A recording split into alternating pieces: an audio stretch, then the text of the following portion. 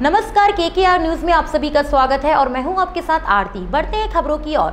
हरदा में पुलिस अधीक्षक मनीष कुमार अग्रवाल और अतिरिक्त पुलिस अधीक्षक गजेंद्र सिंह वर्धमान के निर्देश अनुसार सूबेदार वर्षा गौर एवं थाना स्टाफ द्वारा 20 वाहनों पर चालानी कार्रवाई करते हुए आठ रुपए का समन शुल्क वसूला गया।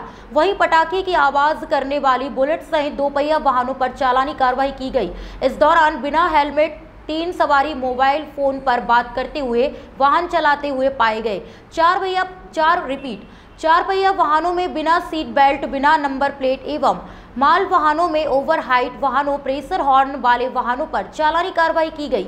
यातायात थाना प्रभारी सूबेदार वर्षा गौर ने बताया कि यह कार्रवाई आगे भी जारी रहेगी। यातायात पुलिस द्वारा बुलेट गाड़ी और तेज शोर वाली ध्वनि के साइलेंसर इस्तेमाल करने वाले दो पहिया वाहन मालिकों, चालकों से अपील की जा रही है कि वे कंपनी के मूल साइलेंसर का ही इस्तेमाल करें।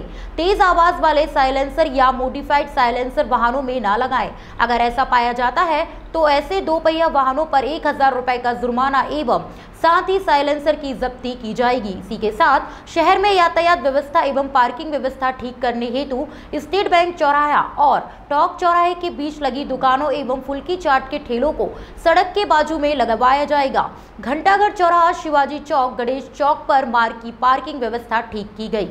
सड़कों पर लगे अव्यवस्थित वाहनों को व्यवस्थित करने पार्क करवाया गया। इस दौरान बार बार अनाउंसमेंट करने के बाद भी अव्यवस्थित रूप से पार्क किए और अपना चार पहिया वाहन रोड से ना हटाए जाने वाले चालकों के वाहनों के व्हील लॉक किए गए। संपूर्ण कार्रवाई में सुबेदार के साथ एएसआई मोहन सिंह प्रधान, आरक्षक महेश शर्मा, आरक्षक नीरज तिवारी, अभिषेक साथ होशियार सिंह एवं हमराहा थाना स्टाफ उपस्थित रहा।